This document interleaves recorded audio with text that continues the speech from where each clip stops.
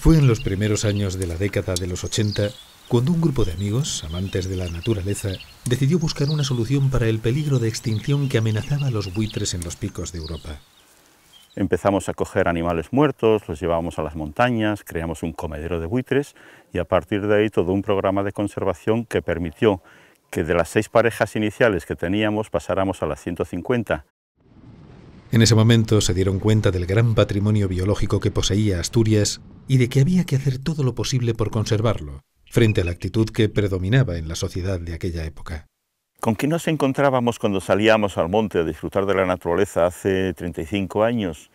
Pues que el comentario general era de que al oso había que matarle, a los lobos había que exterminarlos, a los buitres había que dispararles. Es decir, esa ausencia de conceptos de valores biológicos que hoy tenemos tan asumidos en aquellos años no existían. Este grupo de amigos asumió entonces de manera profesional la conservación de las especies y los hábitats asturianos y creó el Fondo para la Protección de los Animales Salvajes, conocido como FAPAS, que ahora ha recibido el premio Fundación BBVA a la conservación de la biodiversidad en España.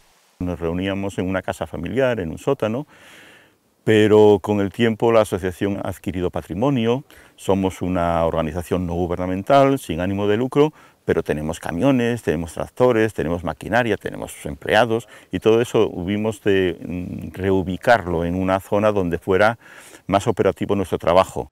Desde hace más de una década, FAPAS tiene su sede en el pequeño concejo de Santo Adriano, en las montañas asturianas. Aquí, cada día amanece con una nueva motivación para seguir trabajando por la conservación de la naturaleza. Cada uno asume un cometido formando un equipo cuyo único objetivo es proteger la biodiversidad. Y abarca pues, eh, desde el trabajo de conservación del hábitat del oso pardo, del uruguayo también, un programa de recuperación del águila pescadora en la costa cantábrica, un programa de investigación de por qué las abejas se están extinguiendo, un programa de lucha contra uno de los problemas más acuciantes que tenemos en estos momentos desde un punto de vista social y político, que es el acoso al lobo.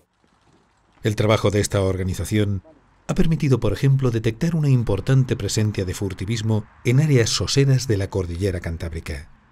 Uno de los primeros trabajos que hicimos con la Guardia Civil fue eh, la recuperación de dos ositas que los furtivos habían matado a la madre en Cangas de Narcea y eso mm, dio visibilidad al trabajo de conservación del oso. Y el oso empezó a ser protagonista también desde el punto de vista biológico y sobre todo cultural de nuestra región. Las más de 70 cámaras de fototrampeo que colocan en los bosques asturianos permiten conocer a la población osera, que en la cordillera cantábrica se divide en dos grupos poblacionales. El occidental, que abarca unos 200 o 250 ejemplares, y otra pequeña población en la zona oriental. Que no consigue despegar, que no consigue salir del gran peligro de extinción de entre 20 y 30 ejemplares. Estas cámaras muestran cómo se comporta este animal salvaje y también otros como el lobo.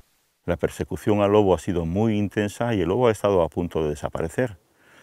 Solamente las medidas de conservación han podido hacer que esta especie se recuperase. Contra viento y marea sigue luchando FAPAS. Profesionales que aman la naturaleza y que luchan día a día por conservar especies en peligro como las abejas, fundamentales para el ecosistema. Sus labores de apicultura detienen el declive de esta especie, a pesar de todas las amenazas que le rodean. Acabamos de conocer la presencia en Europa y en estos territorios de montaña de la barroa, un ácaro de origen asiático que prácticamente ha eliminado a las abejas en su estado silvestre. Las ha exterminado, diría yo.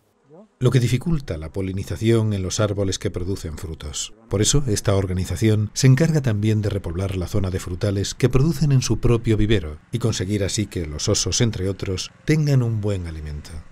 Porque todas las especies del ecosistema forman parte de una delicada y frágil red de interacciones, y el animal más pequeño puede ser imprescindible para el más grande. Por eso ellos lo tienen claro.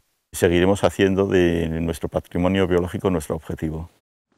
Un objetivo por el que llevan luchando ya durante más de tres décadas y por el que FAPAS no dejará de trabajar hasta encontrar un nuevo equilibrio entre los humanos y la naturaleza en este rincón del planeta.